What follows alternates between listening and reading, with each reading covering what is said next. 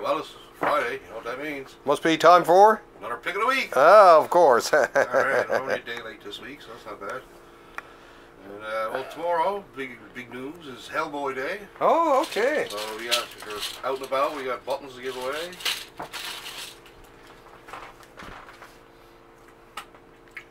Check that out, We yes. got a Fist of Doom bookmark. da, da, da, da. Sweet. We got some temporary tattoos. Ooh. Sweet. And last but not least, I guess we reprinted the first issue of the Seed of Destruction. Yeah. The classic. Taste, taste of what it's all about. Yeah. That was a good, good read, actually. Yeah. A lot of people don't realize John, John Byrne helped Yeah, with the with the writing any anyway. they did show up X-Men. Right? Yes, that's true. So I guess the Bowser buddies. Alright, for regular comics, I'm going with Dark Red number one. There seems to be a bit of buzz on that. Sweet. This looks interesting. Yeah. I like the I like the cover, yeah. And this looks great. Chip Zdarsky and Mark Bagley. Spider-Man life story. 60s. Starting out, Sweet. Sweet. Okay. And for it's gonna be hard to hold, but for cover and pick of the week, uh, okay, I'll hold the middle one. this is a big battle royale, I guess, Okay. for the uh, Oh yeah, okay. Justice League. There so big you had to three covers to show one picture. to do it. Sweet. That looks, looks gonna be good. I like. And also for cover week, this great Alex Ross Hulk cover. Oh yeah. You gotta like the Hulkster. Yeah, It's one of the best uh, Marvel comics out there, you know? it is. And for figure of the week, first ever Red Goblin figure, hoo-hoo. Check it out, folks. cross between Carnage and Green Goblin, of course. Yeah. You gotta love that. Okay. And also, I gotta put up the Ace Ventura figure. Here you go, people. For you Ace Yeah. Ventura fans. That was a great movie. First one, anyways. And board game of the week, Board game of the week is.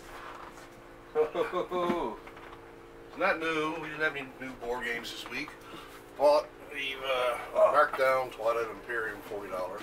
Woohoo! So only one forty nine ninety nine. So if you got like a whole weekend to kill, that's the perfect game for you, Wow. because that'll take you all weekend to play. Oh, okay. Right, Sweet. You got some books there, Wallace? So do I ever? okay. Like you, you say. Uh, Yes, Okay. Well, the big one this week, and I mean literally the one, is the Savage Sword of Conan. look at that omnibus, massive. One of those great, one of the great Curtis magazines of Mar, soon to be Marvel magazines. As they, Yes, guys. 18 magazines in there. That is sweet. This is on for a while. and here's another one. I, this one I picked up myself too, uh, from the Aleca, Alejandro Jodorowsky 90th birthday edition of him and Moebius's Angel Claws. that was a mouthful. Yeah, that one. Uh, that one hasn't been in print for a while, so Yeah. I know that I'd show you, but it's sealed like the other one. myself, myself and Dennis went insane. Oh, Jesus Freak looks cool. Alright, Joe Casey. Uh, and Oh, last yeah, but yeah, that's pretty, pretty walled in this.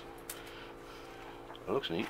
Uh, and here's one of the more underrated series out there. Actually, it was uh, Evan Dorkin and uh, Beasts of Burden. Yeah. It's a pretty cool comic, From actually. the man who gave you milk and cheese and the Eltingville Comic Club, Yes, yeah. you get the animals.